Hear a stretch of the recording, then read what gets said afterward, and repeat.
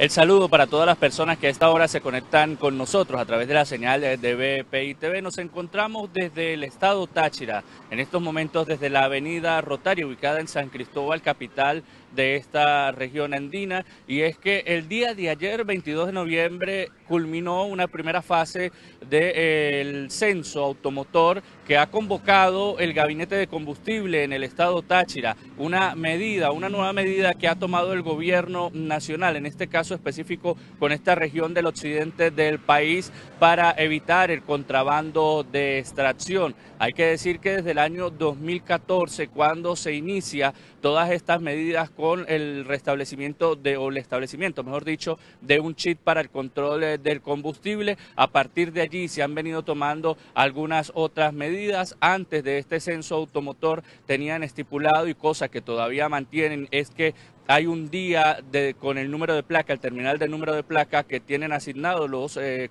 vehículos particulares para poder en todo caso surtir y los usuarios pues eh, en este caso viendo su número o terminal de número de placa pueden surtir combustible. El día de ayer culminó este censo automotor que estaba estipulado desde el 11 al 22 de noviembre, pero vamos a conversar con algunas de las personas que se encuentran en esta larga cola que todavía se observa y que el censo pues será para que evitar este tipo de eh, colas. Vamos a conocer de la mano de algunos de estos usuarios que se encuentran en la cola si realmente ellos consideran si este censo automotor ha servido o servirá para que disminuyan las colas en las estaciones de combustible. Buen día, me indica su nombre. Buenos días, mi nombre es Jorge Serrano. Señor Jorge, ¿cree usted que el censo automotor que finalizó el día de ayer en el estado Táchira va a normalizar la situación del combustible? Bueno, yo no pienso que lo normalice porque aquí es demasiado grave el problema, pero sí ayuda porque por lo menos las personas que no tengan los papeles al día no podrán hacer echar gasolina y hay mucha gente que está echando gasolina con carros que no son de ellos.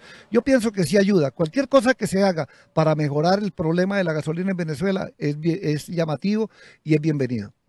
Bien, ya escuchamos la opinión, agradecemos a uno de los usuarios que se encuentran en estos momentos, eh, como observamos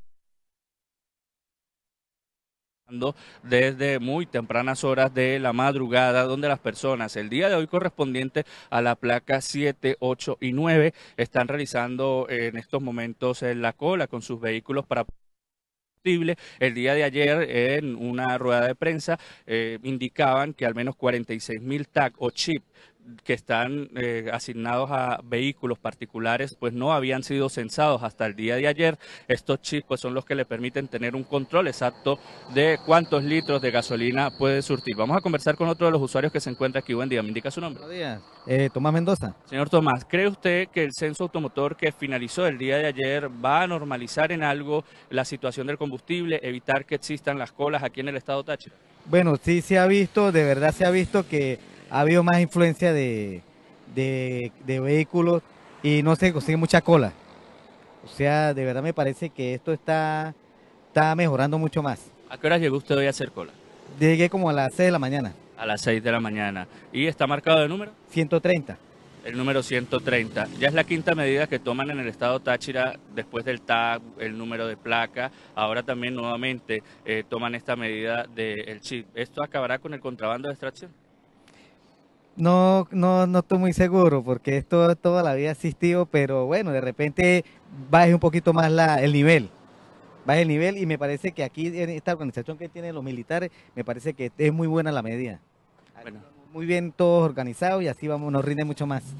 Agradecemos al señor Tomás que en estos momentos pues también nos ofrece su opinión con respecto a la realización de este censo y si va a implicar o va a ayudar en que mejore el poder surtir combustible en el estado Táchira. Eh, ya han pasado cuatro horas eh, desde que él inició a realizar esta cola para poder surtir combustible el día de hoy. Y como ustedes pueden observar, pues están organizados. Está el ejército, que también está el día de hoy formando parte de estos operativos que realizan en las estaciones de servicio, como parte también eh, de la organización para que existan los de así eh, les han dicho. ¿Me iba a indicar algo más, señor Tomás?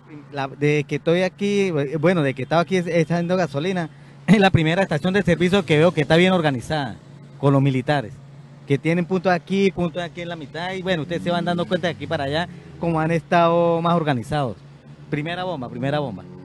Bueno, así la expresión entonces de, uno de los usuarios que el día de hoy se encuentran realizando esta cola para poder surtir combustible en el estado Táchira. Repito, el día de ayer que culminó el censo vehicular en el estado Táchira para verificar cuántos eh, chips están realmente siendo utilizados por los vehículos particulares y de esta manera eliminar a todo aquel chip que en estos momentos pues no se pudo censar. Y para determinar quiénes son realmente los que están trabajando o realizando el contrabando de extracción y en algunas oportunidades también expresaban desde esta mesa de combustible que quieren evitar el plagio de estos chips de muchos vehículos que se encuentran accidentados o en talleres eh, mecánicos y que igualmente aparecían surtiendo de combustible. Esta es la información que tenemos hasta este momento desde el estado Táchira, Venezuela. Freddy Ramírez, BPI TV.